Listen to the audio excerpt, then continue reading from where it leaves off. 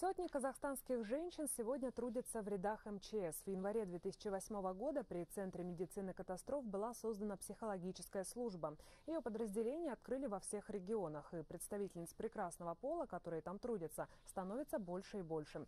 Благодаря женщинам-психологам эффективнее стала и работа мужчин, ведь в душе каждая женщина – спасатель. Представьте себе, что вы гора. Гора.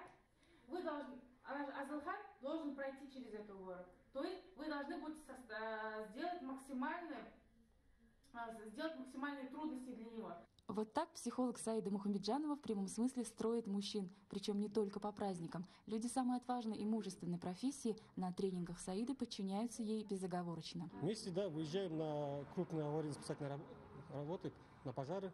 Специалист своей сферы, очень подготовленный человек, оказывает, во-первых, первую свою психологическую помощь, пострадавшим и как быть в этой ситуации. Девушка с открытой душой и добрым сердцем, так характеризует Саиду коллеги. В пожарную службу девушка пришла пять лет назад. О том, что сменила работу школьного психолога на службу в МЧС, нисколько не сожалеет.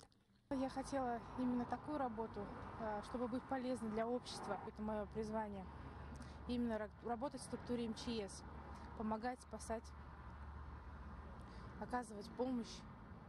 Действительно, я думаю, это мое.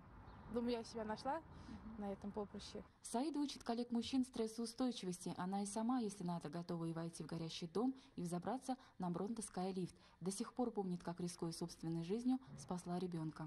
Тогда не задумав, что пятый этаж, узкая автолестница, юбка, неудобные обувь. И на самом деле было абсолютно все равно.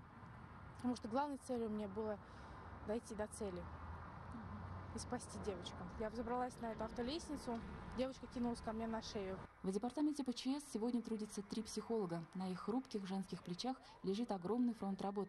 Асель Русалиева, Баладжар Гасов, Уральск.